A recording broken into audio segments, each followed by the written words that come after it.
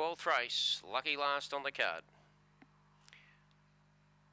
Moving in for the final race here with the Eruptive Lad favourite from Princess America. Uh, there's been good money for the red Princess America and a Ruptive Lad also very solid in the market. The green light on for the last race. They're set, ready, Racing, Eruptive Lad got out okay. Showing pace, Princess America, the inside will be the leader from Dazzling Melody.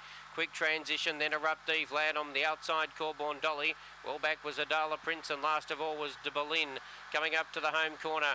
And it's Princess America, the leader, by about two or three. Dazzling Melody trying hard on the outside, but it's Princess America.